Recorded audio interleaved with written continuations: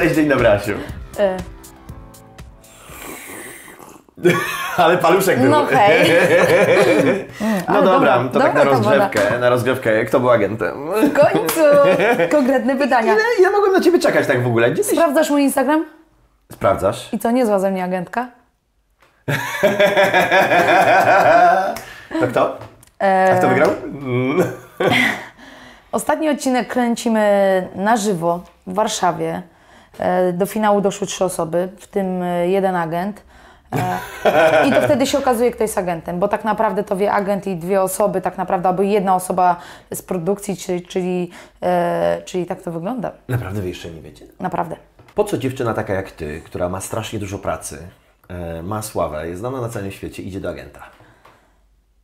Bo nie zła z niej agentka. Kusisz!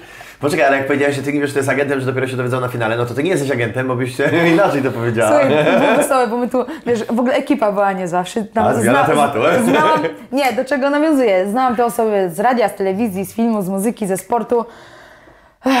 I finalnie poznałam e, tych ludzi, bo znałam troszeczkę Agnieszkę Ryliki, gdzieś spotkałam wcześniej Olgę Frycz, z którą się w ogóle tak zakumplowałam w tym programie, że, że, że to głowa mała. Ale wszyscy okazali się mega fajni. I tam była fajna relacja, wiesz, e, sporadycznie było jak na koloniach, ale oczywiście misje codziennie, e, jakieś zadania. Ja wiem, że oglądacie tylko tak naprawdę 20 minut e, programu, bo są reklamy, jest zapowiedź, jest końcówka, są z nami setki, czyli te wywiady, a my kręciliśmy jeden odcinek 3 dni, później 2 dni, także wyobraź sobie, ile tam materiału musi być. Ale do czego nawiązuję? Także mieliśmy fajny czas, śmieliśmy się, płakaliśmy w sumie radości i smutki, e, a w pewnym momencie było tak, jesteś agentem? Coś, przecież bym ci powiedziała, przecież bym ci powiedział. I tak, tak jest do tej pory, nie? No tak. Jaka jest recepta na to, aby w życiu mieć taki power, jaki masz ty w sobie? E, nie wiem, pić dużo kawy e, i oglądać Ellen. Jesteś fanem Ellen? Jesteś, jak widać. Ja też, mam nadzieję, że będę w jej programie Ja kiedyś. również. E, Ellen, pozdrawiamy. Zak- to zakład, kto będzie pierwszy, albo może inaczej. Może nie zakład, bo to będzie rywalizacja, mogę na nie trochę stracić. Natomiast chodzi o to, że może wzajemnie sobie powiemy, co? Jak tam Dobrze. będziemy. Która z cech pomogła Ci dojść do miejsca, w którym jesteś? A wrócę do poprzedniego pytania. Co zrobić, aby mieć tyle energii? Pić dużo kawy, bo lubię kawę. I też szybko mówię. kawę. A jestem zmęczona teraz, ale rzecz No, we- chodzi o jestem zmęczona. Słuchaj, Jest, ja nie, jestem jest dobrze. nastawiona. Mnie tak e, cele, marzenia nakręcają mnie po prostu. Jak mam zły dzień, bo jestem też kruchą istotą, chociaż e, trenuję często dwa razy dziennie, wiesz, e, mocny sport, e, mocna praca, ale to marzenia mnie nakręcają. Gdy czuję, że już dochodzę do limitu, gdzieś tam przychodzi zmęczenie fizyczne czy, czy psychiczne i gdy sobie mówię, nie, ja już nie daję rady, albo nie chcę wstać z łóżka, bo się czuję po prostu jak krab, nie? I, I wtedy, wtedy myślę o marzeniach, Ale- wtedy myślę o celach i, i albo podejmuję decyzję o tym, że zostaję w domu i oddalam się od tych marzeń, albo wychodzę z domu i przybliżam się do tych marzeń. I tak to wygląda. Ale ty chyba coś o tym wiesz, bo ty też masz duże marzenia, też często rozmawiasz z ludźmi o tym. I to jest najfajniejsze, bo e, ludzie często mylą moją e, pewność siebie z butnością i z arogancją. Ludzie nie pojmują pojęcia tego, ale moja pewność siebie wynika z tego, e, że ja ciężko pracuję, że ja sobie właśnie stawiam wysokie cele, wysokie marzenia, ale pracuję na te marzenia i wizualizuję sobie zwycięstwo, bo to jest mega ważne. My rozmawialiśmy tutaj o tym, e, zanim wystartowaliśmy z kamerami, ale ja do samego wyjścia do oktagonu wizualizuję sobie zwycięstwo. Tam nie ma ani chwili, momentu pojawiała się seria pytań, czy dam radę, czy wystarczy mi kondycji, czy dobrze się przygotowywałam, czy dobre były sparingi, czy wystarczające, ale nie, wizualizuję sobie zwycięstwo, bo to jest naprawdę siła, która mnie napędza i powoduje, że ja wygrywam te walki, że dominuję moje rywalki e, często. Oczywiście bywają ciężkie walki, ale to właśnie ta siła, która jest w głowie i w serduchu, ona pomaga mi trwać. Czyli co, widzisz ostatni moment walki, widzisz to, jak wygrywasz, widzisz, jak podnoszą twoją dłoń, jak widzę, dostajesz widzę pas? triumf, widzę triumf. Pomimo, iż e, walki często są również ciężkie, bo każda walka jest ciężka,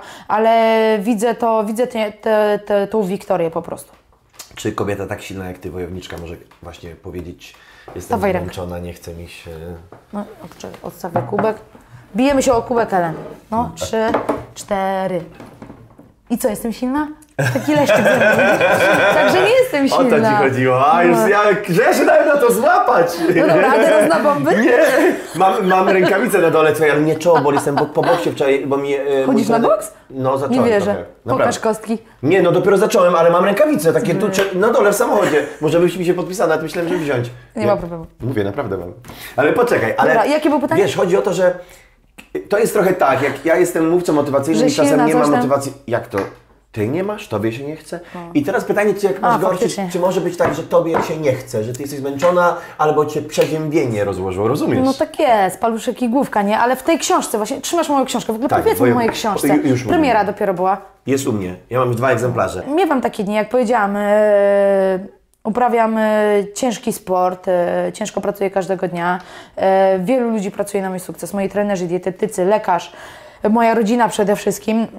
Ale gdy wychodzę do oktagonu, e, tam jestem tylko ja i moja przeciwniczka i patrzymy sobie oko w oko i, i jest po prostu walka. Ale tak jak mówię, miewam takie dni, że mi się nie chce i właśnie w tej książce jest to opisane, jak potrafiłam trzy czy pięć razy zawracać e, w drodze na trening, bo mówię, nie, dzisiaj źle spałam, to będzie zły trening, hop, nawrotka do domu. Ale ja, co ty, tak się podasz? Nie, znowu nawrotka. I zaraz sobie myślę, nie, ale to przecież nie ma sensu, brzuch mnie boli. I znowu nawrotka. I w 99,9% takich e, dni kończyłam jednak na sali treningowej i to jest to, co mnie doprowadziło e, do mistrzostwa, chociaż e, mam momenty, zwłaszcza tak w połowie kampu albo w trzech czwartych tak w trzech czwartych tak jakby cza, cza- czasie przygotowań, czasu przygotowań kampu przychodzi zmęczenie fizyczne, a zarazem psychiczne i wtedy naprawdę trzeba sobie umieć z tym radzić, ale to właśnie odróżnia zwykłe zawodniczki od mistrzyń i tak samo mm, osoby, które nie mają marzeń, a które mają marzenia, prawda? A jakbyś miała powiedzieć, czym jest sport? Co dał ci sport? Sport, y, sport jest we mnie i sport jest e, całym moim życiem. Sport nie tylko wzmocnił mnie fizycznie, ale i psychicznie. E, Spełniłam swoje marzenia o po prostu o lepszym życiu, o, o, o poznaniu e, wielu ludzi. E, Gdzieś poznawałam po prostu bratnie dusze w Tajlandii, w Amsterdamie, jak mieszkałam, czy w, zupełnie innym zakątku e, świata. To jest niesamowite. Mm, Poznawałam wspaniałe miejsca, kultury, e, ale tak jak mówię, sport był, jest i będzie moim marzeniem ja żyję w takim swoim, swoim śnie. Poznawałaś wiele osób na jednej z ostatnich walk. Na widowni była Madonna i Zac Efron. E, Tak, opowiadał się o Lady Gadze, o Lady Gaga i Lady Gaga zapostowała, e, pamiętam, to było dwa lata temu, gdy zwyciężyłam pas e, mistrzowski w Dallas, e, za, za dwa miesiące walczę właśnie w Dallas, już w piątej obronie tego tytułu mistrzowskiego i ona wtedy wrzuciła post bodajże na Instagram, bądź e, w, w, Facebook, e, że właśnie, że Cholerka, te dziewczyny potrafią walczyć. I wiem, że Lady Gaga jest ogromną fanką. W ogóle ja mieszkam teraz na Florydzie. Tam trenuję, oczywiście jestem olsztynianką, byłam, jestem i będę, ale trenuję na Florydzie i jest koncert z Miami, także będę chciała, będę chciała się na pewno wybrać. I tak, Madonna. Pozdrów ją, kolega. Pozdrowie, pozdrowie. Madonna i inne osoby. No UFC, MMA jest prężnie rozwijającym się sportem, a przez to, że UFC jest największą organizacją MMA na świecie, największą amerykańską organizacją MMA na świecie, ale rzesza najlepszych zawodników, e, przez to wielu celebrytów chce e, uczestniczyć w tych galach. Przychodzą oglądać, wielu ludzi się fascynuje, na przykład Leonardo DiCaprio, który nigdy nie wypełnia aplikacji o to, aby być na gali, siedzieć w pierwszych rzędach. On po prostu yy, zakłada czapeczkę i się ukrywa gdzieś na widowni, bo on po prostu kocha to. Także to, to obrazuje to, jak ludzie potrzebują igrzysk i chleba. Tak jak było to kiedyś w starożytności, tak samo jest to teraz. My jesteśmy takimi gladiatorami po prostu walczącymi w oktagonie, tylko oczywiście są zasady, yy, są pewne normy i tego się trzymamy. Słyszałem, że nie możesz brać leków. Jak to jest z tobą? Nie mogę brać leków, bo e, już jestem wystarczająco wystrzelona i, i bez leków sobie radzę. Nie, ale jesteś przeziębiona, nie możesz brać? Nie mogę brać leków. E, Słuchaj, e, tabletki są bardzo mocno zanieczyszczone. E, Ja jestem pod kalendarzem e, Światowej Organizacji Antydopingowej. Codziennie muszę, e, oczywiście wypełnia ten, wypełniam, ten, wypełniam ten kalendarz kwartalnie, ale na przykład gdy jadę, z, gdy jestem w Polsce, mieszkam w Olsztynie na co dzień, gdy przyjeżdżam do Warszawy na przykład na media, to muszę wpisać, że jestem w tym, w tym w tym dniu w Warszawie, w tej w tej godzinie będę na przykład w hotelu Marriott, czy w tej w tej godzinie będę w kawalerce, prawda, bo komisja antydopingowa może przyjść do mnie za, zapukać, jeżeli nie będzie mnie pod wskazanym adresem, e, to jest lipa, bo mam godzinę na to, aby do nich dojechać. Jeżeli nie, nie, nie wstawię się e, do nich na badanie krwi bądź moczu, e, wtedy dostaję takiego minusa, zbieram dwa takie minusy, za trzecim razem blokują mnie na dwa lata. E, Jeżeli chodzi o tabletki, e, często jest pochodna efedryny w tabletkach takich e, na przeziębienie, czy, czy inne tego typu e, dodatki, które powodują, że e, mogę wpaść, bo jest to traktowane jako doping. E, Często nawet krople do nosa są, e, są już w jakimś stopniu e, dopingiem. Ja bo- cały czas na dopingu. no. Nie, już Tak nie. to wygląda. Dlatego leczę, leczę się naturalnie. W ogóle pamiętajcie, drodzy słuchacze i widzowie, e, kubek e, świeżo wyciśniętego soku z marchewki, z jabłuszka i imbiru e, działa jak jedna tabletka antybiotyku.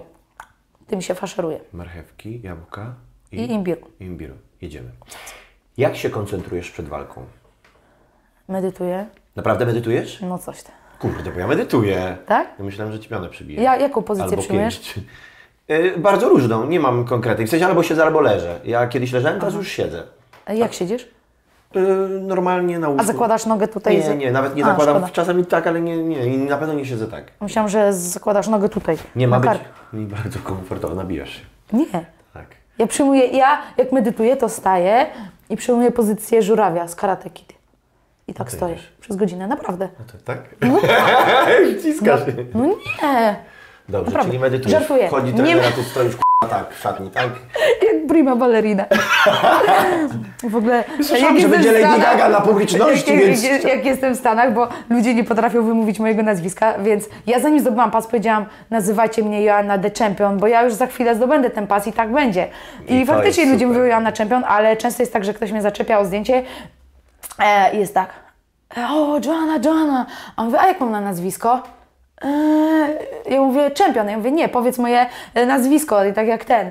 Ale często ludzi wkręcam, czy jesteś e, Joanna, jak się pytają, ja mówię nie, jestem prima ba ballerina, moje imię to Katarina, jestem, e, wiesz, z Moskwy. I przyjmuję wtedy pozycję, ludzie, wiesz, konsternacja. Czy to ty, czy to ale, nie ty? ale, ale są, są jaja i oni się zastanawiają wtedy. E, Pytanie było, jak się koncentrujesz po Tak, 5 no minut to- temu. Ja się, nie wiem, mnie Czy to jest coś takiego, że mnie to dwa dni przed nie ma seksu? Nie, nie, nie. To wygląda Nie, nie, tak, nie? że Czyli ja się wyłączam. Jest taki tydzień walki, jest po prostu e, tylko i wyłącznie skupienie na swoich obowiązkach. E, są moi, przy mnie moi trenerzy, moja lekarz i dietetyk, bo my tniemy bardzo dużo kilogramów. Ja gdzieś się spotykam z rodziną, ale mam ten czas ograniczony, ponieważ ja wiem, że ja muszę mieć myśli tylko i wyłącznie skupione na walce, mojej rywalce e, i się skupiam tylko wyłącznie na tym. E, ja jestem osobą wierzącą.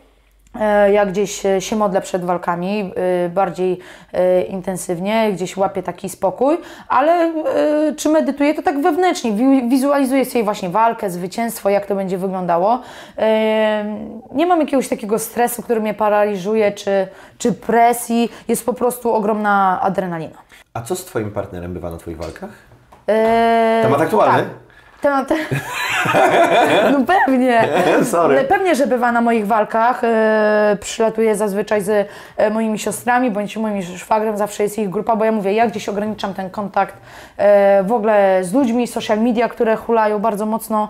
E, ograniczam to, to przed walką, ale oni tam są, wspierają mnie i tak to wygląda. Moja rodzina bardzo mocno mnie wspiera. A czy partner mistrzyni świata musi być od niej silniejszy? Jak to jest? Wiesz, wiesz o co Oczywiście. chodzi? Jest ten stereotyp kobiety i faceta i tu nagle... bum. I tu było nie tylko y, y, silna, wygrywa walki, ale jeszcze e, znana. To jest bardzo duży ciężar do udźwignięcia przez Twojego partnera. Jak on sobie z tym radzi? Radzi sobie bardzo mocno, to- chociaż y, my, my utrzymujemy taką prywatę. My gdzieś się dzielimy życiem, ale utrzymujemy taką prywatę i my to cenimy, że my nie wchodzimy do nikogo, e, do, do, do nikogo e, z butami do życia, dlatego i tego samego nie wymagamy, nie, e, nie życzymy sobie od ludzi, prawda? W sensie mam nie pytać o niego. Nie, możesz pytać, ale spoko, ale my tak e, rozumiemy się, nadajemy na tych samych falach. Mój Przemek był kiedyś sportowcem, e, bardzo wspiera mnie w tej drodze i on to rozumie, że mam gorszy humor, gdy jest cięcie wagi, że jest często ciężko, że e, nie ma wymówki, że boli mnie głowa i muszę iść szybciej spać, tylko faktycznie tak jest i, e, i to wygląda jak wygląda, bo Jak zaczyna naprawdę... boleć głowa w związku, to jest Tak. początek kryzysu. doprowadzam, ja doprowadzam swoje ciało do naprawdę takich mocnych limitów, jeżeli chodzi o, o takie wyczerpanie fizyczne. Partnera pogratulować tylko jego wytrwałości w sensie Oczywiście. siły. A, a czy była kiedyś konieczność pokazania swojej siły na ulicy? E, A paluszek był? oczywiście. Powiedziałaś, że chcesz być legendą. Jesteś już? Nie wiem, ja to kiedyś powiedziałam, bo chcę być legendą sama dla siebie, że chcę coś zostawić na tym świecie po sobie, ale ja nie dążę do tego, aby być e, znaną z tego, że jestem znana. Ja chcę być znana z tego, co po sobie, po sobie zostawię. Pozostawię to, że w świecie e, będzie e, Joanna Jędrzejczyk, która jest z Polski i zwojowała po prostu największą organizację MMA na świecie, zwojowała Stany Zjednoczone i tak naprawdę cały świat ją zna i e, do czego ja tutaj dążę? Jak nie, żeby zrobić? ludzie nosili mnie na rękach, tylko to jest takie, takie dla mnie, y, że ja będę miała tu świadomość, że ja coś po sobie y, pozostawiałam. Kiedyś za, jak będę, wiesz, za 40 lat opowiada wnukom. To jest niesamowite. Ty masz olbrzymią świadomość swoich sukcesów i one są rzeczywiście, ale mówisz to w taki sposób, dopiero że... się rozkręcam. ja też. Ale mówisz w taki sposób, że to nie jest jak zarozumialstwo. Nie, ty wiesz co mówisz, Tak, ale ludzie dążysz. często mnie tak y, odbierają, ale wiesz co, ludzie nie potrafią, ludzie lubią żyć czyimś życiem, i, ale ja zawsze mówię, nie oceniaj książki po okładce, zajrzyj do środka. No, nie oceniajcie po, ksiu- po żartowałem, jest fajne. Ale, Masz coś e, koncept- No, chcesz? Aż buczy mi brzuszko. Mam chyba pudełka. Jakie pudełka? No jestem na pudełkach, więc mam jakieś takie dwa jeszcze. Nie, to nie chcę. Ale są zdrowe. Nawet nie dał mi nic do jedzenia. Ale dam ci, zaraz kończymy, to ci dam. A masz jakieś słabości? E, mam, mam wiele słabości, Jakie? na pewno. E, nie oglądam horrorów, bo się boję.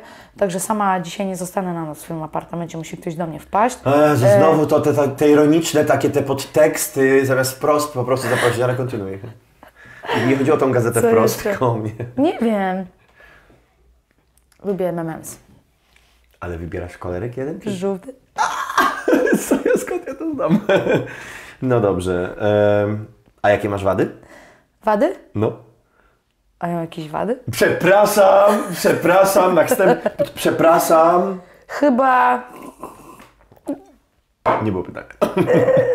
na pewno mam jakieś wady. Ciężko jest mówić o swoich e, Jak się jest zaletach zajebistą. i wadach. Ale nie wiem, na pewno mam sporo, sporo wad, jestem tylko kruchą istotą. Kruchą istotą. Ona lubi te ro- rozbieżności, przeciwstawności, tak? Kruchą istotą. E, Że jestem człowiekiem, my jesteśmy słabi ogólnie. No, ty generalnie tak ludzie. łatwo nas, tak, oczywiście. Zobacz, to natura nas tym może zniszczyć W moment, to w prawda. moment, prawda? Także jesteśmy naprawdę malutcy w tym świecie. jest. Ale mi to waliło między oczy teraz. A jest coś takiego, czego w życiu się wstydzisz? Coś, co było? Yy, nie, ostatnio mi ktoś zadał pytanie, yy, czy bym, ch- jakbym chciała, by wyglądało moje życie, jakbym chciała wystartować jeszcze raz. A ja powiedziałam dzień w dzień, godzina w godzinę i tak naprawdę sekunda w sekundę, aby moje kolejne życie było takie same, jakie było z tymi yy, szczęśliwymi momentami i z tymi bardzo trudnymi. A który moment w życiu, to takie moje ulubione pytanie, które zadaję bardzo często, bo dużo może powiedzieć o człowieku. Który moment w życiu nauczył Cię najwięcej? Chyba moje narodziny, y, które pokazały mi, że życie jest walką. Dlatego jestem wojowniczką. To chyba, co, ja może nie tak materialnie i nie to, że tylko sukces, ale to chyba jak wróciłam właśnie z pasem mistrzowskim do domu i zobaczyłam moich rodziców, którzy y, byli na spotkaniu, który, które mi tam zorganizowali ludzie na jednej z alterii y, olsztyńskich i gdy zobaczyłam właśnie moich bliskich, moich rodziców, mojej siostry, narzeczonego i mo- moich najbliższych przyjaciół, jak zobaczyłam te łzy zwrusze, y, wzruszenia, y, to poczułam wtedy, że mam ludzi, którzy mnie kochają i się wzruszyłam i ja wtedy pomyślałam, że ja chcę jeszcze więcej i mocniej właśnie dla nich. Ale tak obserwując Ciebie, domyślam się, że jednak jesteś mega szalona. I na pewno zdarzają się w, to, w Twoim życiu takie sytuacje kosmiczne, są jakieś takie... Kosmiczne? No. No. Ja nie będę opowiadała, to wszystko jest w książce. Nie, ale opisane. chociaż jedną, żeby zachęcić, taki teaser. Teaser. Jestem dobry w teaserowaniu ostatnio. No jestem szalona, Jestem szalo... Ja ponieważ nie wiem, czy się dzieje w tej przyszłam do dzisiaj. 20 metrów do kawalerki. Jest jakaś taka energia tutaj, że w ogóle ja chcę tańczyć, Bum. śpiewać, tu goście przychodzą, Tak? jakiś kosmos. Oczywiście, w ogóle słuchaj, opowiadałam wczoraj na lafie o Zenku, że Zenek będzie grał na moim weselu. I co się stało, A że... wesele? No nie, jeszcze nie wiem. E, tak się stało, że menadżer, którego pozdrawiam, Martyniuk, żeby było jasne. Zenona Martyniuka, napisał, że Zenek zagra na moim weselu, aby tylko data się zgadzała. Kocham malowki. Także Jaką masz misję na ziemi? misję na ziemi. Co chcesz przekazać swoją osobą?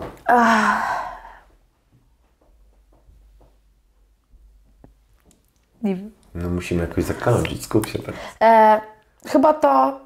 Znowu wrócę do książki. No śmiało, śmiało. Nie, ja, ja w życiu, ja czuję, że mam misję. To, to fajnie powiedziałeś. Ja czuję, że mam misję i patrząc e, właśnie e, wstecz na moje te lata kariery, ja gdzieś zrezygnowałam z pewnych rzeczy. Moi, ja potraciłam wielu znajomych. Wiadomo, jak jest sukces, to się pojawiają nowi znajomi, ale ja nadal mam grupę tych samych znajomych od e, wielu lat, e, ale gdzieś straciłam pewnych znajomych, którzy nie mogli zrozumieć, że ja chcę być tym ułamkiem e, inności, chcę być oryginalna, chcę robić coś innego i chcę się realizować. Nie chcę popaść w jakąś formę od 8 do 16, praca, monotonia i tylko narzekanie, jaki mój szef jest zły.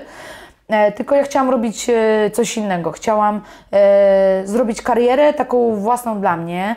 E, i, I chyba chcę pokazać ludziom, że nieważne skąd się pochodzi, e, jakiej nacji się jest, e, że gdy mamy marzenia i wysokie cele, ambitne cele, gdy wymagamy od siebie, a później możemy wymagać od innych, e, że gdy chcemy włożyć właśnie odpowiednią ilość e, pracy, determinacji i być oczywiście pasjonatami w tym, e, co robimy, że można dotrzeć naprawdę daleko, że możemy spełnić się marzenia i że można żyć tym amerykańskim, amerykańskim snem właśnie poprzez te, te swoje dokonania. I chyba poznam wielu ludzi, którzy gdzieś się poddają, bo napotykają jakieś kłody, ale my codziennie będziemy napotykać. Czym głębiej w las, tym będzie po prostu trudniej z, z większą ilością rzeczy, czy y, z większą ilością zawisłych ludzi. Będziemy musieli po prostu sobie potrafić radzić.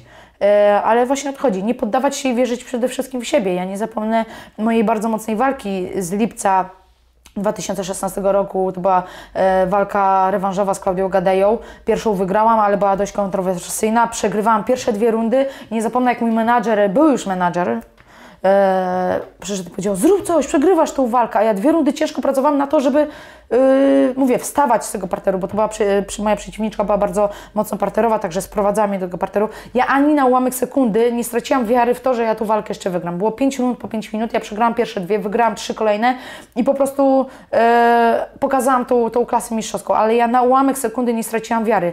Pomimo iż już dawno mogłabym to zrobić i po prostu pozwolić jej zdominować mnie, e, zabrać mi mój pas, moje marzenia, e, mój prestiż, ale ja na to nie pozwoliłam. Także moi drodzy, nie, nie poddawajcie się pomimo tych trudów, bo naprawdę byłam w wielu ciężkich sytuacjach. Ja wiem, że ciężko, często borykacie się, nie wiem, z chorobą bliskiego, czy ze swoją własną chorobą. Pamiętajcie, że e, należy się cieszyć każdym dniem, ponieważ ja nie wiem, czy ja jutro się nie obudzę i nie, nie, nie wiem, nie e, wykryją u mnie jakiejś poważnej choroby, czy u moich bliskich i wtedy będę musiała się skupić tylko na tym. Dlatego należy czerpać e, z życia jak najwięcej i, i, i brać to życie garściami, ale tak rozważnie. Czerpiesz, masz moc, naprawdę. No. Ale energia jest w kawalerce, podoba mi się. O tym wszystkim w książce. Bardzo dziękuję za książkę, za autograf. Ale ja ją zabieram. Dla Łukasza, jak widzę Twoje oczy, śnię o nich nocami, jesteś wielki. Ojejku, dziękuję. Nie ma za co. dziękuję Ci bardzo. Wszystkiego najlepszego, samych Dziękuję. sukcesów i do zobaczenia w E, UR. Dallas, e, w. Dallas 13 maja na UFC 211. No, Będziesz oglądał? Będę Oglądasz oglądał MMA, czy albo wpa- wpadnę, wpadnę. To e, dobra, wpadnę. paluszek na koniec, no. Zakończmy Paluszek, przepraszam. Jak się nazywają te takie dźwięki czy y, w telewizji, czy tam w reklamach, takie pi- pingi, bingi, nie. Pi, to u nas będzie. Stole. Do zobaczenia u Ellen. Jingle. Jingle. Wytrwał.